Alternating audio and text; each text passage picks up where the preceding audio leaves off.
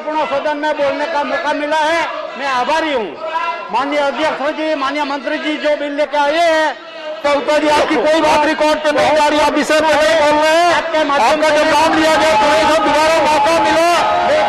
आपको आपको विषय पर बोलने के लिए और पोरबंदर ज़िले के महात्मा गांधी जी की जन्मभूमि और सुदामा जी की जन्मभूमि से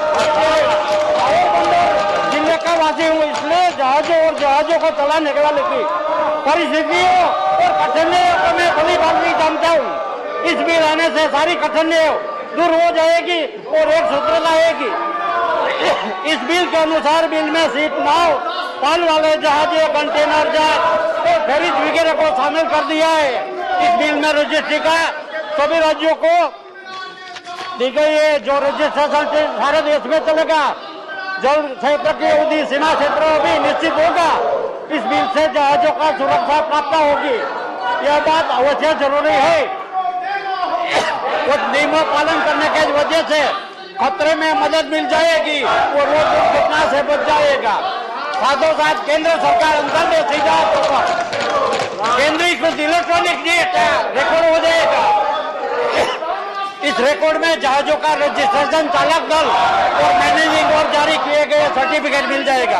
इस बिल में फंड का प्रावधान किया गया है, जिससे हर राज्यों, राज्य सरकार की योजनाओं, स्टेट होल्डर्स और जहाज़ के टूटे फूटे हिस्सों का कार्यों को बिक्री से मिलने वाली राशि धीरे धीरे से, धीरे धीरे।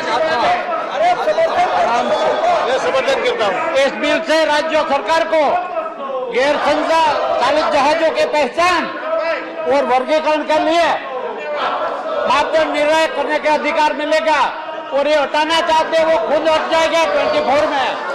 वैसे आपसे हटने वाला नहीं है मोदी आप सबको हटा के कर जाएगी इसके पहले करना चाहिए तो आप समझाओ काफ़ी अपना व्यक्ति बर्बाद हो रहे हम सब टैक्स पेयर है काफ़ी लोग टैक्स भर के और इसका सरकार का नुकसान कर रहे हैं।